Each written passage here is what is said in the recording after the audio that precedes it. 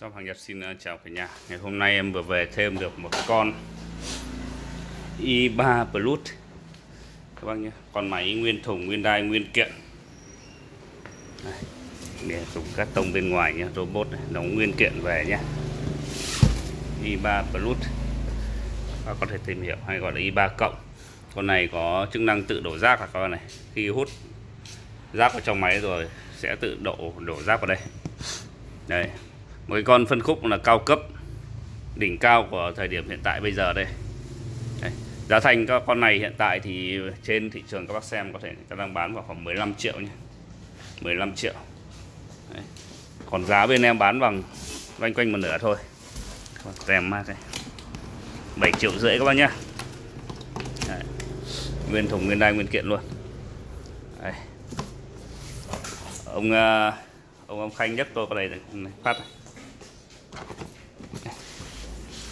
Cũng nhấc hộp ra phát. Nhấc như cái này ra. À, đây là xem là phần máy này. Đấy bật ra ngoài. Đây là hộp các phụ kiện. Đấy, kiện nha. Đấy, bê cả này lấy ra. À nó vướng thùng xốp à? Thôi thôi được rồi. Để đây. Nhấc cho cái cục này ra này. Nó có ra được không? Đấy, to như thế này cơ mà các bác. to tướng luôn. Đấy. Yeah. Iva Plus nha. Đây, hộp rác này. Nguyên đai nguyên kiện luôn đấy ạ. Đây là phần mà máy. Còn chưa bóc ra đâu các bạn con này thì nó xếp vào dạng khủng rồi. VIP mà giá thành thì cũng quá hợp lý luôn các bác bỏ ra 15 triệu mua thì cũng khá là xót xa đấy. Nhưng mà đây, bên em nhập về bán sách tay đây. Nhé. Nguyên đai, nguyên kiện mới tinh như các bác. Đấy. Đai, nguyên kiện luôn. Giá có 7 triệu rưỡi nhé. 7 triệu rưỡi. Đây là cái hộp đổ rác của nó khá to luôn.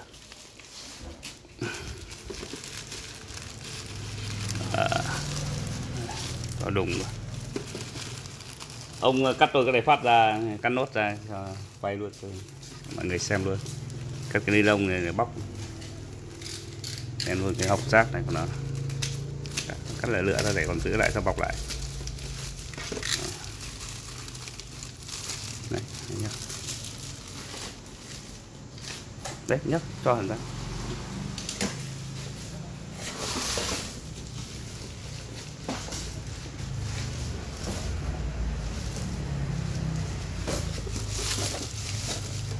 Đấy.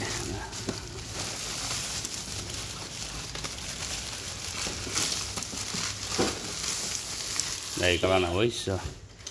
Kinh khủng. Thùng rác to lắm ạ. Thùng rác này cao đây. Mấy găng tay cao tầm 40 phân 50 phân. Rác này. Máy trèo lên đây để sạc. Rồi đổ rác này. Đấy. Đây chắc là hộp phụ kiện. Lọc rác này, như này. Đây. túi rác này sơ cua.